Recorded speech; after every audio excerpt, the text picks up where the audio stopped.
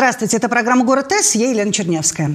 Управляющая компания «Коммунресурс» появилась в Самаре в 2019 году, и за три с а, небольшим года работы эта организация сумела завоевать доверие горожан. Как и любой бизнес, управляющая компания начала с малого и продолжает двигаться вперед.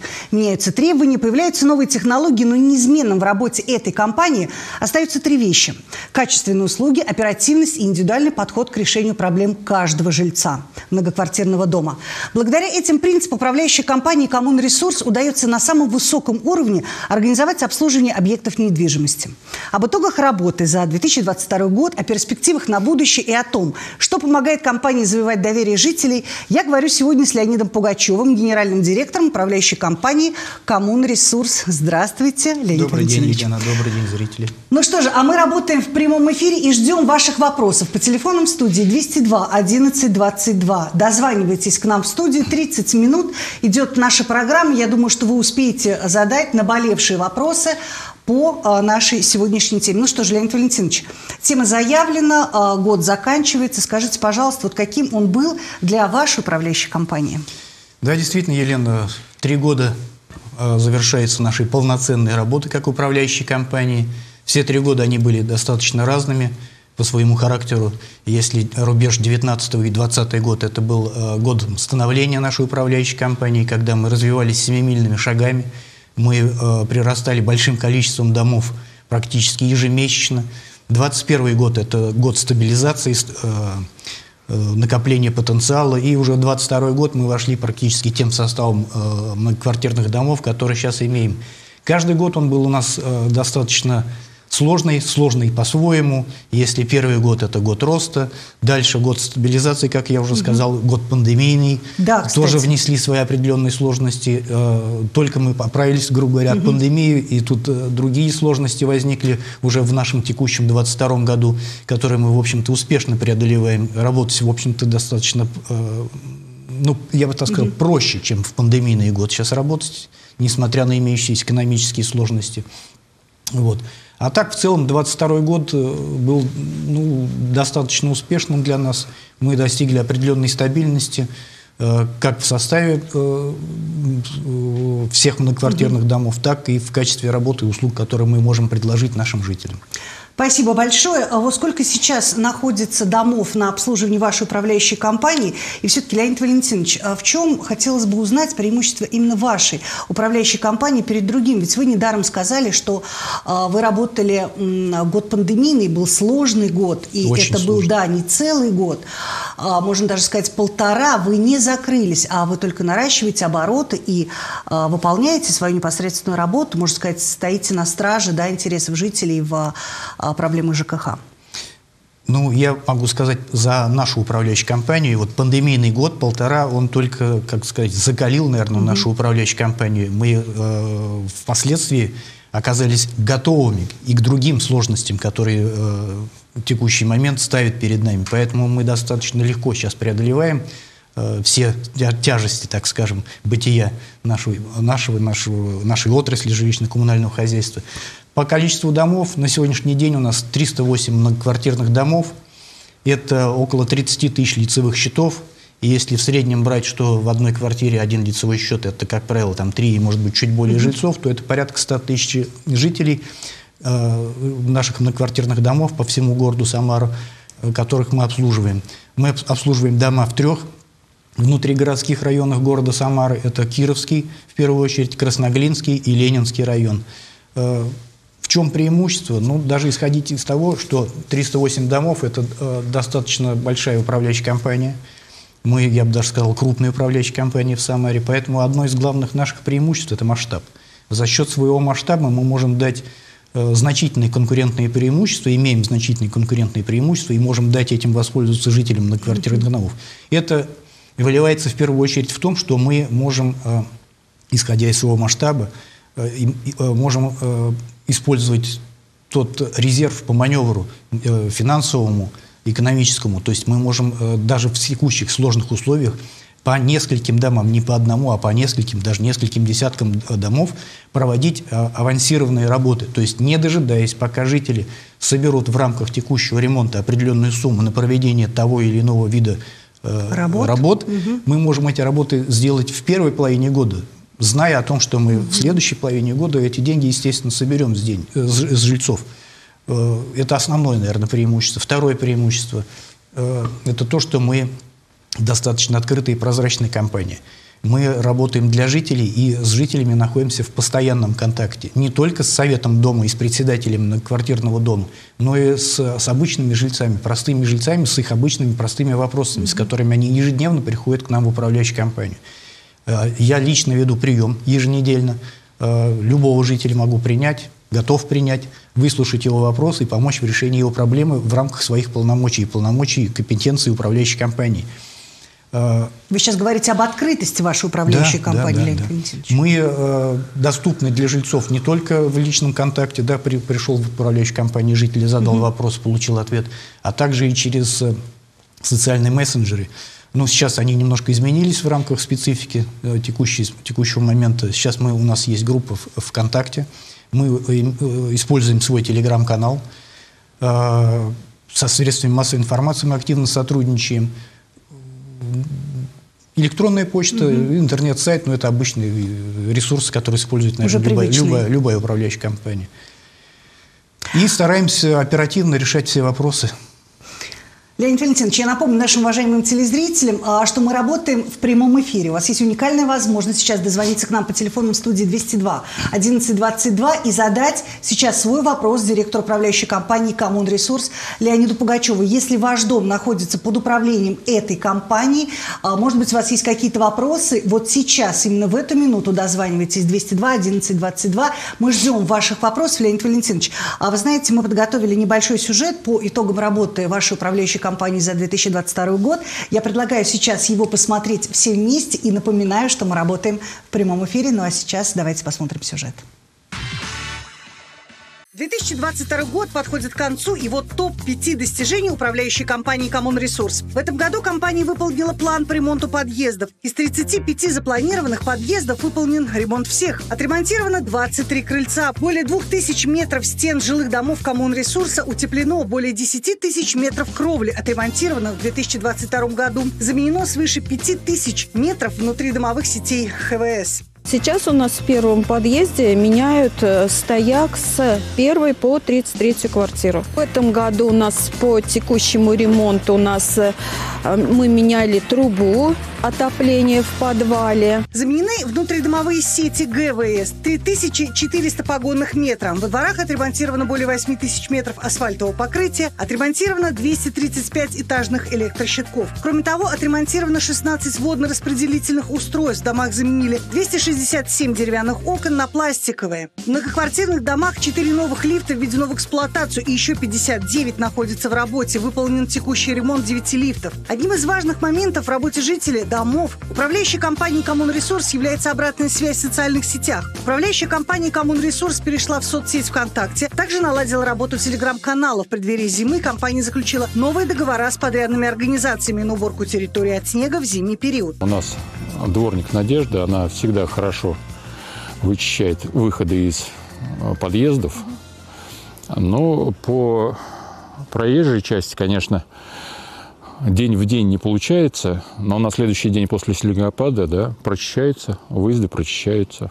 Утром выхожу, то есть всегда тут проход есть у нас, выходы из прочищены, из э, подъездов прочищены. В теплое время уходящего года управляющая компания «Коммунресурс» присоединилась к акции «Кедры России». Так во многих дворах были высажены саженцы кедров, тем самым компания внесла свой вклад в защиту окружающей среды. Модернизирована и собственная техника управляющей компании «Коммунресурс», приобретен ковш на коммунальную машину, что позволит проводить дополнительные погрузочные работы. Ну что ж, мы продолжаем нашу программу и продолжаем а, ждать ваших звонков 202 11 22. Звоните и задавайте. Леонид Валентинович, скажите, пожалуйста, а вот насколько для вас важно налаживание диалога именно с жителями домов, которые вы обслуживаете, и насколько эффективно такое взаимодействие? А, диалог с жителями домов и взаимодействие, я всегда об этом говорил и не устану повторять, это самый важный момент в работе управляющей компании, потому что управляющая компания mm-hmm. работает для жителей, для своих жителей. И все, что мы делаем, мы делаем для наших жителей. Поэтому без диалога невозможно работать. А, в первую очередь мы, естественно, выстраиваем отношения с советами домов. Э, это, э, туда выбираются люди наиболее авторитетные, которым доверяют все остальные жители дома, для того, чтобы решать основные вопросы по своему дому, составлять и контролировать выполнение плана текущего ремонта годового, следить за э, содержанием тем, как обслуживается дом, уборка придомовой территории, уборка внутри дома и многие-многие мероприятия, которые нужно отслеживать, контролировать и взаимодействовать с управляющей компанией для того, чтобы качество этих услуг и работ было надлежащего качества. Это самое главное. Поэтому мы этому вопросу уделяем, наверное, одно из самых э, первостепенных значений. Э, следим за этим и стараемся э, поддерживать определенную планку на достаточно высоком уровне. А вот, кстати, обучающие семинары «Мой дом», инициированные губернатором Дмитрием Азаровым, также в помощь управляющим компаниям и старшим по домам. Вот скажите, а, ваши старшие по домам, жители, может быть, а, сотрудники вашей управляющей компании посещают семинары? Вот важность отметьте их. Конечно, посещают. И я сам лично посещаю э, данные семинары. И не только как директор управляющей mm-hmm. компании. Я к тому же являюсь и председателем многоквартирного дома, в котором живу. Поэтому я Э,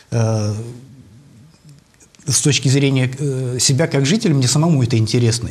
И как директор управляющей компании, я считаю, необходимо участвовать. И специалистов своих периодически отправляют на, в зависимости от э, тематики, тематики, да, тематики да? Да, я, э, туда отправляем своих специалистов. И консультируем жителей. Они после этих семинаров приходят в том числе и к нам консультироваться. Вот услышав, говорят, вот нам так сказали, вот, что вот этот вопрос будет в свете новых каких-то правил там, или нововведений будет рассматриваться теперь по-другому. Так ли это? Мы с ними обсуждаем это, смотрим, да. Все это достаточно интересно, в том числе и нам. Хорошо. А, я все-таки хочу вас спросить, с какими трудностями столкнулись вас на, при старте отопительного сезона? А есть ли сейчас проблемные аварийные дома? И все-таки как справляетесь с текущими вопросами? Я знаю, у вас очень хорошо налажена работа аварийно-диспетчерской службы. Также э, работаете? Да, мы все так же работаем э, с упором на аварийно-диспетчерское обслуживание. Это э, одно из основных требований, э, предъявляемых в соответствии с лицензионными требованиями к управляющим компаниям. Поэтому тоже это один из приоритетов. Старт отопительного сезона в этом году прошел достаточно плавно и хорошо. Этому во многому способствовало то, что у нас, э, э, согласно постановлению главы города, старт отопительного сезона он немножко растягивался из-за того, mm-hmm. что изначально подавалось отопление в социальные объекты. Э, тем самым мы давали время, чтобы трассы наполнились теплоносителем, и это облегчало запуск тепла потом в жилые многоквартирные дома. Поэтому мы сумели избежать каких-то крупных аварий при запуске отопления на, на жилых домах. Если были какие-то аварийные ситуации, но они были связаны, как правило, с ресурсоснабжающими организациями. И в этом году я должен отметить, что достаточно быстро все эти э, недостатки были исправлены, все аварии были устранены, и мы достаточно быстро подключили к отоплению все наши дома. Да-да, в дальнейшем занимались э, исключительно регулировкой и какими-то небольшими вопросами. Спасибо. Я напоминаю, что мы работаем в прямом эфире. Еще раз озвучиваю телефоны 202 11 22. Если вдруг линия занята, дозванивайтесь и задавайте свои вопросы. Управляющая компания «Коммун Ресурс». А если ваш дом находится под управлением этой компании, если же нет, и вы хотите задать вопрос по теме а, просто ЖКХ, а, мой сегодняшний гость – эксперт в этом вопросе, поэтому обязательно ответит на интересующий вас вопрос 202 11 22. Леонид Валентинович, какие заметные события произошли в этом году в вашей компании. Я знаю, что вы не стоите на месте, развиваетесь, и наверняка есть что сказать что-то нового. Вы знаете, Елена, одним из самых, наверное, заметных и для меня значимых событий это то, что мы в этом году э, стабилизировались как управляющая компания. Мы вышли на стабильно, я считаю, достаточно высокий уровень обслуживания э, многоквартирных домов, стабильно высокий уровень общения с жителями и с советами многоквартирных домов – отношения у нас со многими домами и советами стабилизировались и стабильно хорошие. То есть мы идем, э, э, ведем с ними адекватный диалог, двусторонний диалог, без которого невозможно в современном мире достичь каких-то положительных результатов. Поэтому это вот один из э, факторов. Еще какие заметные события? Ну, я бы хотел отметить, э, наверное, то, что важно сейчас для каждого жителя города Самары. Это идет э, массовая замена лифтового оборудования, лифтового оборудования, правильно, наверное, да? Лифтового оборудования в городе. Лифт, лифты меняются сотнями. Э, и в течение этого года и следующий весь год будет заменено, по моей информации, около пару, полутора лифтов по, всей, по всему полутора городу. тысяч, наверное, Полутора, да? да, полутора тысяч литров, извините. Вот, это серьезные события, которые ждала не только управляющая компания «Коммунресурс», но и все управляющие компании, в обслуживании которых есть многоквартирные дома с, лифт, с лифтами, которые должны были быть заменены. Это идет речь о лифтах 74-78-79 годов выпуска. Много пришлось на вашу компанию по Э, замене? У нас в виду? сейчас э, уже введено в эксплуатацию около 10 лифтов, и в работе находится около 60 лифтов. И после Нового года э, в работу возьмут еще несколько десятков лифтов. Ну, то есть, если есть какие-то а, вопросы у жителей, можно позвонить также в аварийно-диспетчерскую службу и узнать, да, какую-то, ну, вот, а, насущную информацию. Я имею в виду, конечно, ваши дома. Ну, я бы предлагал, предлагал не э, пере- перегружать, не загружать аварийно-диспетчерскую службу вопросами о лифт- лифтовом оборудовании, а прийти непосредственно в управляющую компанию э, ко мне, к главному инженеру и другим техническим специалистам и э, выяснить, в каком состоянии, на каком этапе находится э, процесс замены лифтового оборудования в, в вашем конкретном доме. Спасибо. Наличие техники и персонала тоже очень важный вопрос. А, Скоро начнутся снегопады, а, зима уже вступила в свои права. Скажите, пожалуйста, все ли готово в вашей компании наличие техники, персонала, дворников? Да, мы готовы, как обычно, к зимнему уборочному периоду. Э, Техника, ну, по поводу техники, смотрите, в современных условиях э, большинство управляющих компаний, которые стараются быть, как, так сказать, в тренде, э, стремятся держать э, столько единиц собственной техники, сколько им действительно необходимо для э, ежедневных каких-то решений вопросов и проблем. А для э, производства механизированной уборки по жилому фонду в случае выпадения обильных осадков используется, как правило, привлеченная техника по, договор- по договорам подряда. Так вот, э, мы на данный момент содержим три единицы собственной техники, которые постоянно модернизируем, вот то, о чем прозвучало в начале передачи, э, так, чтобы у нас на, на технику можно было повесить и ковш, и дробилку, и щетку для уборки территории, для см- смета. Вот. И э, привлеченно, что касается привлеченной техники, то мы в этом году обновили договора подряда с, э, с организациями, с которыми мы э, предполагаем сотрудничать и в дальнейшем, и готовы в обильные снегопады выводить э, до 20 единиц техники дополнительно. Это достаточно, я считаю.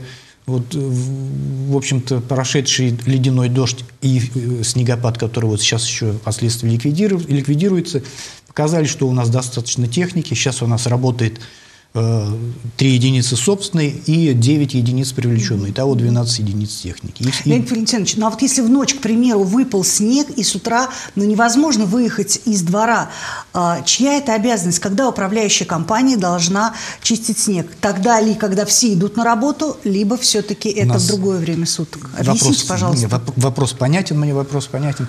Смотрите, есть определенный алгоритм взаимодействия э, администрации города Самары, городских районов, управляющих компаний и муниципальных служб в, там- в данном случае. В случае а, а, прогноза, а, неблагоприятного прогноза по осадкам у нас э, есть четкий алгоритм, по которому мы работаем. То есть городской департамент оповещает всех, э, рас- выпускает распоряжение о том, когда начинать работы, кто когда начинает, в каком объеме и так далее. То есть мы заранее знаем, когда, в каком, к которому часу нам нужно вывести дворников, обеспечить выход техники и так далее. Все зависит от количества осадков. Каким образом вы связываетесь с своим персоналом и даете такие распоряжения? Мы всегда на связи. У нас э, э, многочисленные группы в Вайбере, которыми мы пользуемся по различным тематикам. Как по уборке кровли, так и по уборке придомовой территории, по выходу техники, по выходу дворников и так далее. Э, в, это, в этих группах э, постоянно аккумулируется и обновляется информация о том, сколько в каждом конкретном ЖЭУ, жилищно-эксплуатационном участке, вышло дворников, вышло механи- э, техники для производства механизированной уборки, сколько отработано домов на данный момент, обновления идут, ну пусть не ежечасно, но по несколько раз в день. То есть я эту информацию вижу в режиме онлайн, в телефоне. Мне не нужно для этого тратить полчаса времени для того, чтобы всех обзвонить. Достаточно просмотреть э, э, обновленные сообщения в группе Viber. И вся информация аккумулируется у всех руководителей управляющей компании. То есть, можно сказать, вы круглые сутки да, на связи, можно сказать, и ну, на телефоне, В период и снегопадов онлайн, и ну, да, непогоды время, фактически, да? да, я круглые сутки на связи, потому что угу. приходится засыпать достаточно поздно, а просыпаться достаточно рано. Спасибо. Есть звонок от телезрителей. Здравствуйте, мы вас внимательно слушаем. Задавайте свой вопрос. Алло, здравствуйте. Здравствуйте. У меня вот такой вопрос. Я живу в пересечении 22-й партии «Свобода» и «Победа». Вот, э, когда, допустим, выпадает снег, можно еще пройти спокойно по улице. Так. По, по тротуару. Но вот когда проезжает машина, которая счищает весь этот снег метелочкой, вот этой щеточкой, ну? Остается весь лед, идти невозможно. Да, бруствер, да, такой образуется. Вопрос ваш в чем? Как этого избежать? Да. Можно как-то тогда или не счищать снег до конца, или сразу поступать реагентом, чтобы не было льда вот этого. Спасибо большое, мы вас поняли, Леонид Валентинович. Ответьте, пожалуйста. Ну, ту часть тротуара, про которую говорит зритель наш, это та часть, которая относится к так называемой уличной дорожной сети. И, насколько я понимаю, это не совсем, правда, район, те, которые дома мы обслуживаем, но это э, та часть улично-дорожной сети, которая обслуживается муниципальными организациями. У них есть свой определенный алгоритм работы на подобных э, покрытиях. Угу. Естественно, там должно быть и обработка противогололедными материалами ПГМ, и про прохождение щеткой норматив есть по использованию этих материалов, то есть э, они не могут использовать больше определенной э, концентрации. Не, можно, не, нельзя, не могут использовать э, больше определенного количества раз за э, промежуток времени, там, неделю, месяц и так далее. Соответственно, из-за этого, возможно, возникают какие-то сложности. Может быть, э, что-то не совсем верно делается, не в той последовательности mm-hmm. и так далее. Или более тщательно нужно подходить, с меньшей скоростью. Я не могу сказать, это та часть э, но это не ваш вид работы, за который отвечает да, управляющая да. компания. Но, тем не менее, спасибо вам за вопрос. И а, есть еще время, и звоните, пожалуйста, а, задавайте вопросы своей управляющей компании «Коммунресурс». Леонид Валентинович Пугачев сегодня отвечает на мои и, ну, и на вопросы ваши, если вы дозвонитесь к нам в студию 202 11 22. Леонид Валентинович, а какие все-таки остаются а, частые самые обращения от жильцов? Я сейчас говорю не в зимнее время года, а вообще вот в принципе наболевшие вопросы вопросы а, вашей компании «Коммунресурс»? Ну, в любой управляющей компании, вне зависимости, в какой угу. части города они работают, э, все вопросы, они практически могут быть разделены на сезонные. То есть в свой период времени своя категория наиболее популярных вопросов. Зимой, естественно, отопление. В период обильного таяния и дождей весной, например, это кровля. Угу межпанельные швы затекания, если там... Э, летом покос да, травы. Летом покос травы, да. совершенно верно, вы помните. Покос травы, уборка придомовой территории. Летом э, э, это вопросы, связанные с горячим водоснабжением в связи с тем, что происходит в периодически гидравлические испытания на сетях ресурсоснабжающих организаций проводятся подготовительные операции, мероприятия по подготовке уже к следующему отопительному сезону. И эти мероприятия начинаются в середине мая и заканчиваются фактически в начале сентября. В связи с этим тоже э, возникает нюанс, куча вопросов у жителей по поводу качества горячего водоснабжения из-за того, что э, э горячая вода подается по одному трубопроводу, недостаточной циркуляции и так далее. Все это выливается в недостаточную температуру теплоносителя, то есть горячей воды. Осенью вопросы по подготовке к отопительному сезону. Но эти вопросы мы э, решаем, закрываем с администрацией районов и города. И пуск тепла, естественно, самая горячая пора, наверное, для э, ЖКХшников. Угу. Пуск тепла, октябрь месяц, регулировка, ликвидирование аварий, как в многоквартирных домах, так и ресурсниками на своих сетях последующая регулировка, поэтому у нас и почти, почти месяц и, и, и есть горячие линии от различных инстанций, от различных как городских властей, так и управляющих компаний. Вот. Ну вот примерно такая картина. Текущий вопрос. А вы знаете, я хотела еще о чем вас спросить. Когда программа по ЖКХ у нас выходит, очень часто, знаете, телезрители вопросы задают такие, и многие недоумевают, и, оказывается, не знают, что обработка от грызунов а, проводит а, управляющая компания. Вот ваша позиция на этот счет, Леонид Валентинович, как вы это делаете, и что нужно, если, вот, допустим, такая проблема на доме есть?